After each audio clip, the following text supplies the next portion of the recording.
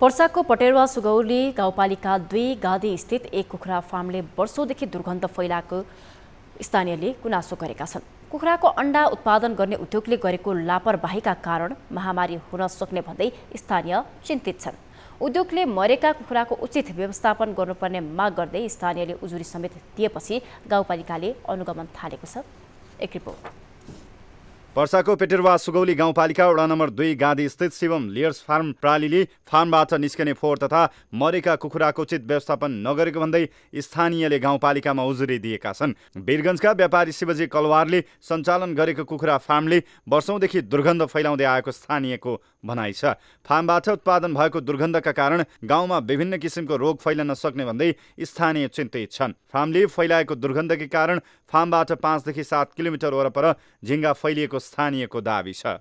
तब एकरा पर हमनी के मनी कष्ट कड़ाई दबनी सो दू तीन बेर चार बेर चार गांव के लोग हमनी के मिल के करे के कहनी से तो कहलर कि ना हमनी समाधान कर देम। ऐसे देखी ना झींगा के महक इतना बजी महकाला लग मारे खाए के कुछ मन नहीं करत। गंधकी बहुत ज़्यादा बा। आ झींगा तो देखत बढ़ला बा नज़र से कहे के पड़ी? आ गंधकी बहुत ज्यादा बा। उद्योगले पटेरवा सुगौली गाउँपालिका वडा नम्बर एक र दुईको करिब पाँचवटा बस्तीका स्थानीय विगत पाँच वर्षदेखि यो समस्या झेल्दै आइरहेका छन्। फार्मबाट निस्कने फोहोरको उचित व्यवस्थापन गर्न पटक पटक आग्रह गरे पनि सञ्चालकले व्यवस्था गर्दै आएको स्थानीयले गुनासो गर्छन्। दुर्गन्धका कारण गर्मी नलाग्दै झिङ्गा फैलिएपछि अधिकांश बाल बालिकाहरूमा विभिन्न किसिमको छालाको रोग देखिएको स्थानीयले बताएका छन्। हमनी ना गनी सनी हरदम जाइने सनी बैठने दिनभर।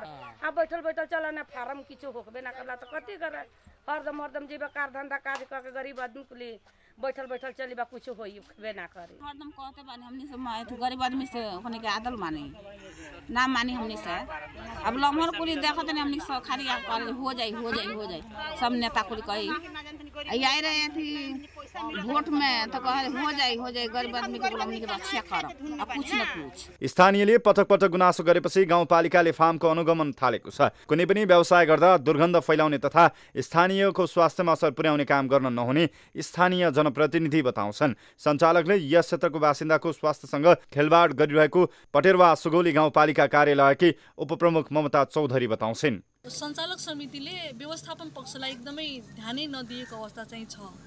त्यहाँका भएका जनताहरू एकदमै गरिब पनि छन् जसले गर्दाखेरि उहाँहरूले अब यी गरिबहरूलाई चिजै नबुझिकन उहाँहरूको जीवनलाई केही चिजै नबुझिकन हामीले जे चाहन्छौँ त्यही गर्न सक्छौँ भनेर त्यो नजरले आफ्नो सोच विचार राख्नुभएको छ। स्थानीयको गुनासोपछि गाउँपालिकाले फार्म सञ्चालकलाई पटक पटक पत्रचार गरे पनि वास्ता नगरिएपछि गाउँपालिकाले अनुगमन थालेको छ। फार्म सञ्चालन गर्दै आएका व्यावसायिक कृषकका लागि स्थानीय सरकारले पनि प्रोत्साहन गर्नुपर्छ।